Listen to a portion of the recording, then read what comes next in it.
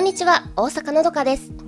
今回は阿南市のトライアルサウンディング授業を使って広い芝生でお試しで街中ワーケーションキャンプを楽しみたいと思います今回はワーケーションを目的としたキャンプなのでこの敷地の一角にあるスマートワークオフィスも一緒に使わせてもらっていますこの施設は阿南市への進出を検討している企業のお試しサテライトオフィスまたテレワーカーの日常的な施設利用も可能となっています。なんといっても市街地に近いためアクセスが便利で水回りも完備されておりテレビ会議も可能な会議室にキッチンも完備。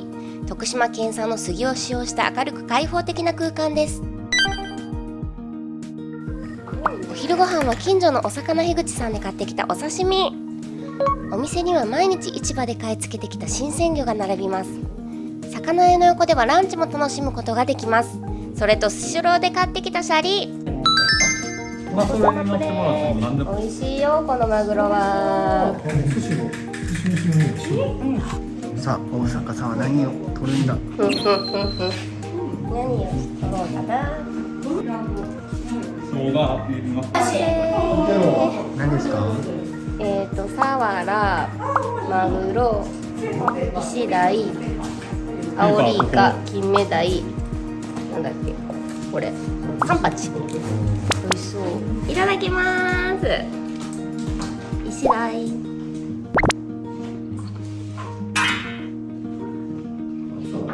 めっちゃ美味しい。イシダイ最高やね。最高？うん。うんうん。どこのお魚ですかねこお魚へ口ですれ魚樋口うんここからもすぐ行けるし。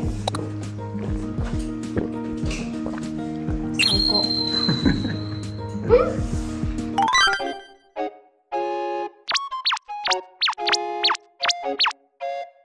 こっちから見たらおるけどだけど目の錯覚かなこれは。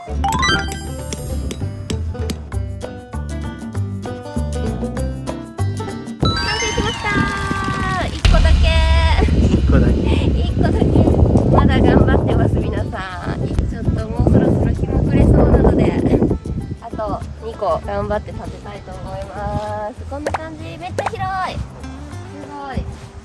この中に寝るところがあります。色広いね本当に。こっちがリビングみたいな。ちょっと後でテーブルを置いていい感じにしてからまた貼ります。はい。テントが3つ貼り終えました。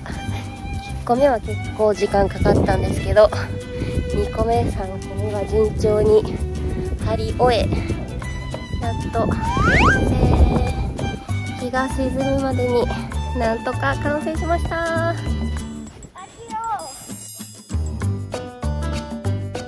ナウンド列車にやってきました。音楽の演奏や食事ブース販売キッチンカー等のナイトマルシェ。竹あかりによる阿南市役所の空間装飾も実施されました。こちらがサニーズファームさんです。なんかいちごのカクテルがあるらしいよ。いちごのカクテル？お酒もいいかも。うん。ちょっとみんなに買っていこう。皆さんに買っていきたいと思います。すごいめっちゃ美味しそういちご丸々入ってるので。すみません、ありがとうございます。ありがとうございます。乾杯。いただきます。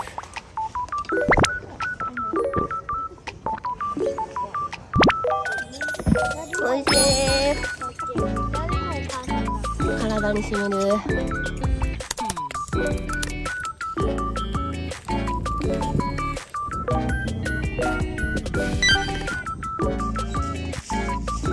今からバーベキューを始めます。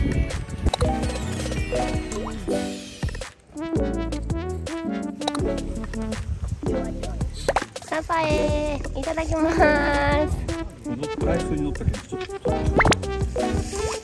うーん。うまっ海の味ですきますうんちょっと早いかも早いでも痩せてそうやけどな、うんあの、お腹に自信があれば。いける。うわ美味しそう。キャンプでバーベキューを楽しんでいる一方、すぐ横のオフィスで少しお仕事を。非日常下で最大限リフレッシュしながら仕事ができ新感覚のワーキングスタイルでした。魔法の粉を焚き火に入れるだけで幻想的な炎に花火とは違った美しさを楽しむひとときに。